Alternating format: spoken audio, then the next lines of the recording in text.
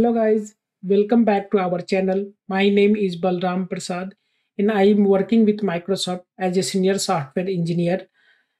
In today's demo, we are going to see how we can transform data using data flow in Azure Data Factory.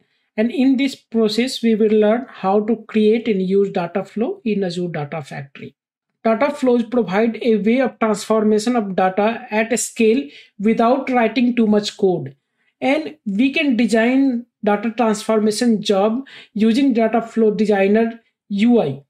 And we can construct using series of transformation activities and steps inside that one.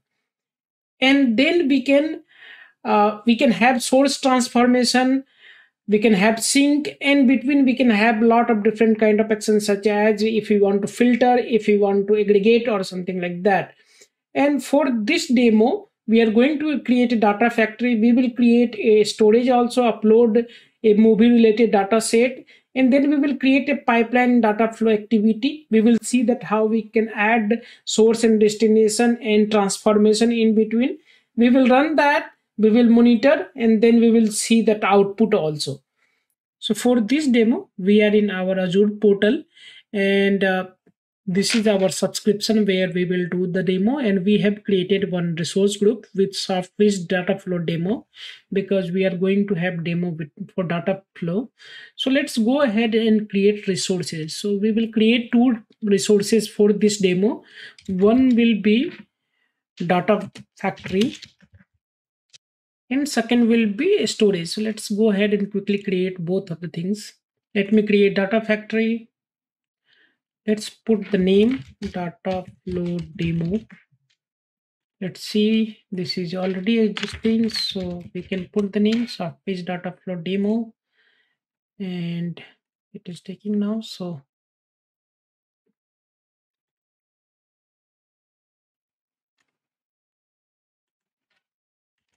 Let's put the name as movie store Soffice movie store let's put the name. And it let's keep that lrs one. And let's enable the hierarchical namespace that's all we have to do this for this demo. So our resource has been created. Let me go inside our data lake and let me create container for this, this demo. And I'm going to create a sample hyphen data container. And in this container I'm going to create one directory called movie store. Movies store. Input let's put that.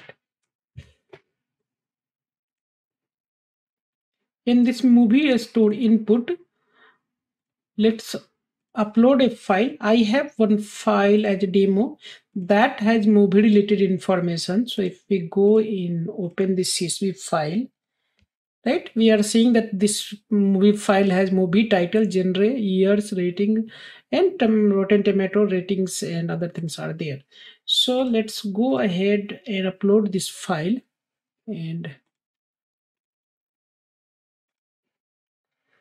So this will be our input and let's create one more directory for output. Data flow.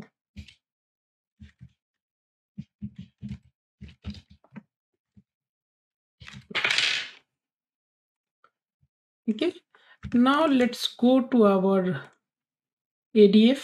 We will open our ADF. Let's launch Studio once our studio has been launched we can go directly either create new pipeline or we can create new data flow or orchestrate. Any way we can go. So let's go into create data flow. Let's give a proper name. Let's add a source. And for source let's put the name and we will put that maybe db let's create a new data um, set. In data set will be in gen2 we have in delimited text. We can say movie db data set. Let's select link service. We do not have link service so let's create a link service. Let's select from our subscription we can go for manually and putting all the details but let's select for subscription. We can go for different authentication. For this demo i'm keeping that one. We have this movie store. Let's test this connection. Connection is successful. Let's create this link service. Now let's browse this file system. We can go with that and our input is here and then movie csv is there. So if you see sample data movie input and this details are here and we can mark first row as a header as we open and saw that into our file. Okay so this is our movie db store is there right? Now we can go for next step. We can uh, before going to next step we can check our data also if we want to see that how it looks like. So in data preview we have to enable the data flow debug and then we can see. So it ask all the details about what integration runtime we are going to use in time to live so let keep the default one. It is going to create a cluster and then it, it will enable all the settings so that we can have uh, preview let's refresh this.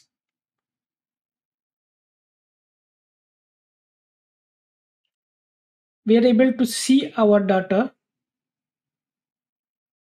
Now let's another activity and we are going to do filter.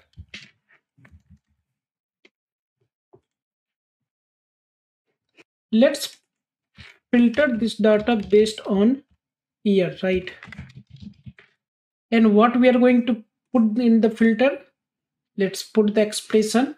And we can use something similar to this one. Like let's convert whatever year column is there into integer and then greater than some date some year and then till the time less than 2000 and then uh, genres are in like comedy that if we see that our data the genre is there action comedy and other things so that we can take.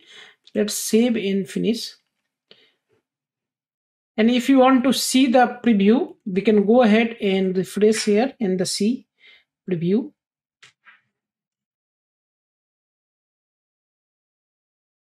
Now, as I put the uh, genre, uh, we can see that only comedy is there. And if we wanted to go it here and see that one, we can see the details also that. Let's see here. Here, if you see action and adventure, sci-fi and other things is there. But here, the different data is coming after doing all the um, uh, filter. And here is also different. So we can see the details now let's add if we want to do aggregation right? Aggregate of anything. So let's put that aggregation also. And in aggregation we can put that okay any name like a aggregate comedy uh, ratings we can do that also. And in that our section here it is saying group by or year. So we can say that group by year. Let's do that. Okay? And aggregate which column we are going to have aggregate? So let we can select that. And let's put the name as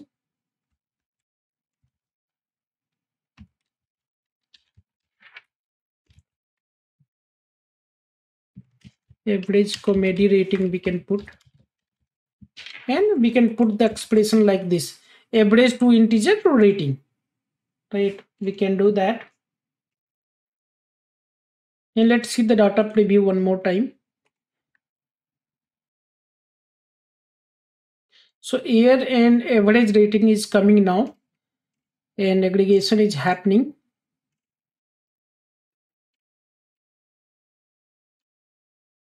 Now, if you want to save this data into any sink, let's have the sink.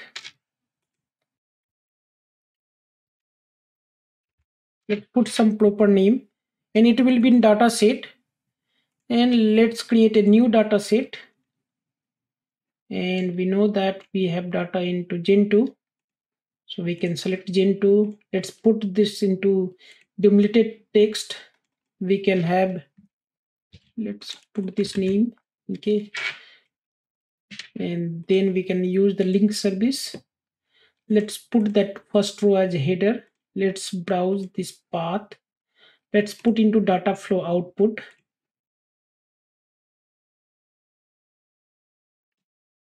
Uh, this is going with sync movie name. Let's put that. So now we have given this one let's publish this flow. Now to run this one we can go in pipeline and create one pipeline. And if we go into move and transform we have this data flow activity. And in data flow activity we can go in setting and we can select whatever data flow we have created right? And then we have to provide compute size. If compute size is medium large or mm, small we have very small so we let's keep that way. And then once we are done let's publish this change also. And we can have schedule trigger tumbling trigger and other details but let's trigger right now for monitoring purpose. Now it is running. Let's see the view pipeline details this is our flow. This is being loaded. Right now it is in queue it is acquiring compute. Number of activity or transformation which we have for it is source. Then we are doing filter by years and then we are doing aggregation and then sink we are doing. If we see the details it will come into stages. These are the stages transformation and then stage id will be coming. So let's see. So now it is started and ran so we are able to see successful. And if we go in details uh, it was calculated that there was 9000 around row. It took all this time right? And then in filter by year if you see after that filter by year was 2000 and then aggregation row became 8, 83 and then aggregation was stored. So this is how it is going to be executed. And if we go a little bit more details let's go in a little bit more details. If we see this uh, transformation how much row is there you can see here. And we can see the stages also what happened over there all the details. And if we see the lineage lineage is also type of coming that what was the original source and how it got changed. So we can find the lineage details also. Apart from we can go into all stream and we can see a little bit more details. Let's go back to our storage and let's go to data flow. Now we see that these uh, files are available inside this csv the part files in the part file wise it is there. And let's see some data if we can see. So here it is stored into part by file. We if we want to store a single csv file we can go ahead, or, and do that also. We have to just uh, change some settings into our adf pipeline. If we go into data flow activity uh, so here in settings we can go uh, and see that okay uh, what option we can output to a single file. And then output to single file required single partition to be selected. Yeah right? This can impact our performance. And this is okay for um, that thing a smaller data set but not good for uh, bigger ones. That is why we should not do that one. And whatever default behavior is there we should be leveraging that one. So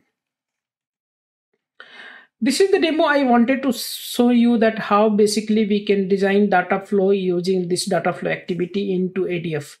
I hope that now we know the basic concept of data flow in ADF. Thank you.